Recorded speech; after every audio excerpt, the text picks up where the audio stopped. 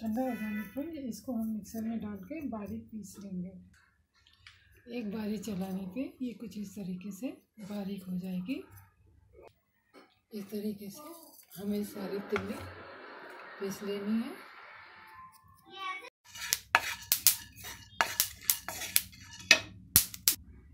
एक चम्मच देसी घी लेने का।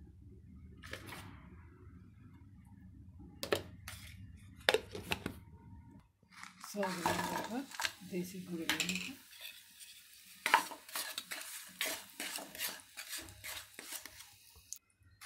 गुड़ हमारा पिघल गया हमने गैस बंद कर दी है अब हम इसमें थोड़ी थोड़ी जो हमने पीसा था तेल वो डालेंगे